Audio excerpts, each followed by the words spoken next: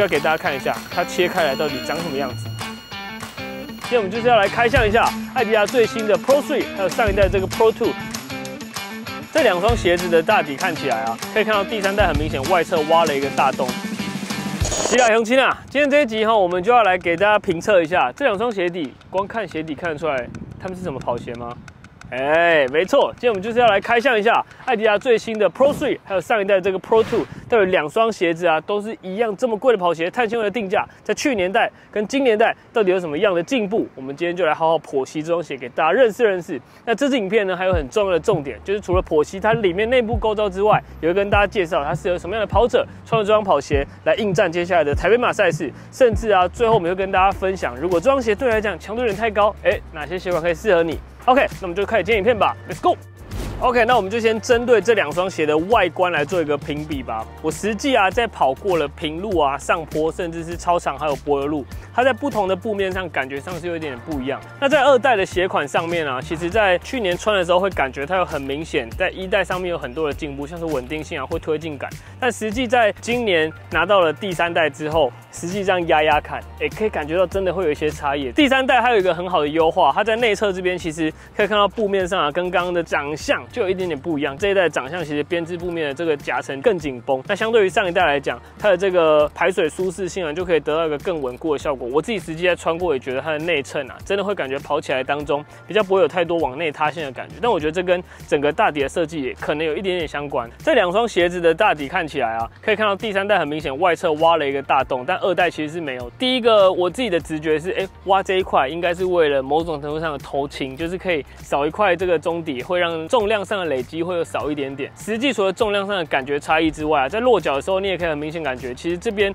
因为它整个中底其实都是偏厚的状况，在这个中底偏厚的情况，如果这一块在着地的瞬间，外面有一个做饱满的这种情况，其实在穿过没有这一块外面的这个第三代之后，会明显感觉到，哎。那块好像有一点多余哎，因为挖了那块之后，会感觉滚动的这个效益，从着地瞬间到出发过去，就不会觉得这边好像有一个被支撑往内颠的感觉。但上一代就有全饱满的状态，就可能会有一点点脚感上的差异。除了这个材质上看起来不太一样之外，它还是沿用了就是马牌的这个轮胎大底，但整体在穿起来的脚感，刚刚说的，如果我用一样力气压二代，大概是像这样的曲度，那我用一样力气来压三代。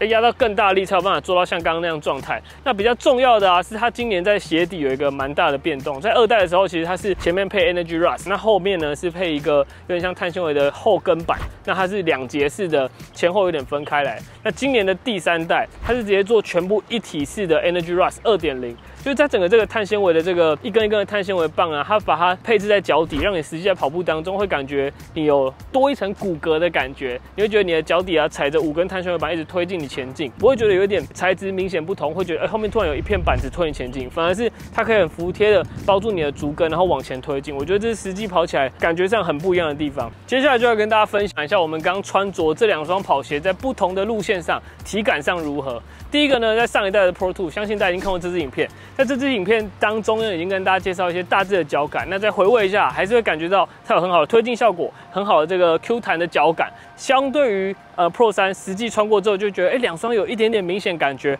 Pro Two 稍微相对于 Pro 三，在着地的这个瞬间会有稍微的比较不稳定感，然后在内侧的地方也会有点稍稍的塌陷。在跑上下坡的时候，推进感受啊，其实是蛮直觉接近的，但会觉得 Pro Two 会稍微相对于 Pro Three 来讲，稍微没这么稳定，所以 Pro 三的这个升级是蛮有感受的，会很明显感觉到你在跑上坡的时候，可以很好、很扎实的对地面有一个很好的推进效果，往上坡的感觉也很好。那我们刚在身后的前一场跑步啊，也可以很明显的感觉到 Pro Three 在实际的脚感感当中，因为田径场是 PU 材质，其实相对于柏油路来讲是比较软的一些地面的这个脚感。那在 Pro Three 上面就可以很明显觉得，哎，这个扎实性啊，会比 Pro Two 来讲还稳定很多。因为 Pro Three 其实会比较 Q 弹，然后它又带一点扎实感，不会觉得下线到会有点不好控制。那在柏油路的脚感上啊，因为是比较硬的材质，那在 Pro Three 上面啊，在柏油路上就可以觉得很安定的往下踩的时候，大底可以给你一个很好的支撑。那对于它这个地方挖空的这个位置啊，也可以有一个很好的滚动效果。很明显会觉得，哎，到这边的时候会有一点点力量顺着往前。那这个时候我觉得在平路的这个薄弱表现，推进效果就非常好。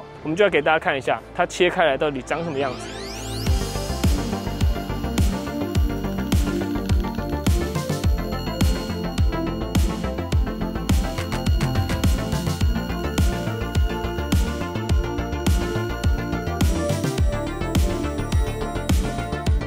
各位观众，我们把这双价值七九八零元的艾迪达 Adios AD Zero Pro 3切开来了，给大家看一下这个画面。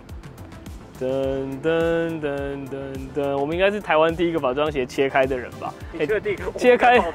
切开之后，这个重量真的感觉差异很明显，因为其实我们有切过其他的跑鞋，那很明显，它们中间都会有直接有一块碳板。那我们这次有讲到啊，它的呃 Energy Rust 这个二点零的升级，它是一体成型的，整个网状包住你的脚底。那侧面的剖切图呢，看起来就会像这样，五根的 Energy Rust 完整的分布在你的大部分大概的脚趾下去踩到地板的这个位置下方。所以你的脚啊，可以看到，如果你的手有点像是假装是脚的状况下，在跑步落脚的位置，你会感觉每一个骨骼都可以很完整的被这些 Energy rush 支撑到，你会觉得好像它很服帖在你的脚底当中，然后很平均的分散这个推进力给你的全脚，不会让你有觉得那种。好像诶、是一块板子推你前进，我觉得这跟上一代的跑鞋穿起来是实际真的还蛮不一样的地方。那如果听完 Pro 三，你觉得它的能力啊有点太进阶，不适合你的话，那或许你可以先参考 Boston 十一，因为在 Boston 第十一代啊，它的设定上，我觉得它支撑性也跟 Pro 三一样，可以有很好的落地的这个扎实的感受。那第二个是稳定度呢，也非常的稳健，那推进效果也有。那唯一的小小缺点可能就是它的重量相对于 Pro 3来讲，可以明显感觉它比较重一点。它相较于